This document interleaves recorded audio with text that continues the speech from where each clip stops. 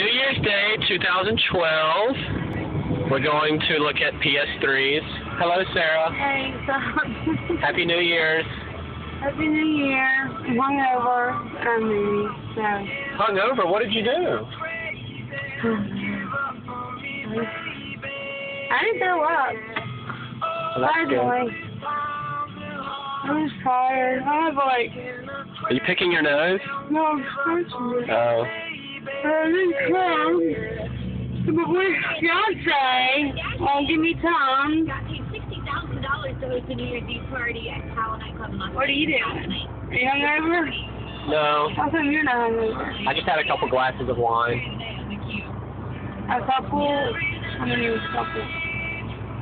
I didn't finish I the wasn't that drunk. I just felt, had so much chips. It's very bloated feeling. Very like. Some time. Okay. Well, I love you, Sarah. I Love you too.